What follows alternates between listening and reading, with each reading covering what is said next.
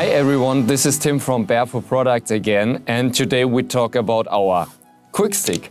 Um, as you know, the bow is nearly perfect, so it was pretty hard to change something because we don't know what. But as you know, you should give every thought a try. So um, we changed a little bit on the bow and you can see the big changes in the riser. So we use a very nice wood called Merbau and we combine this with Makassar Save the Rainforest. So we do also a very good job for the environment. And we use this new wood, Makassar, also for our overlay. So as you know, this is black glass, then we got maple, and then we have the new very beautiful wood, Makassar. And we use this also for the facing overlay.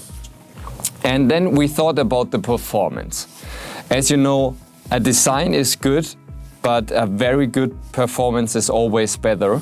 So we're still using bamboo core, but we put some real carbon inside the limb. So it's right under the olive veneer, exactly in the right position to give the bow maximum power.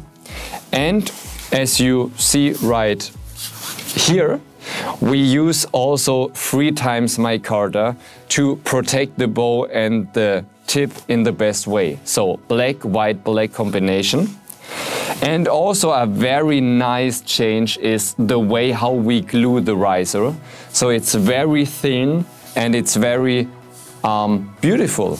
So have a have a good look on the bow. It's a pretty, pretty, pretty nice bow, even better than last year. And it was very perfect last year. So um, have a lot of fun with the bow and yeah, enjoy it.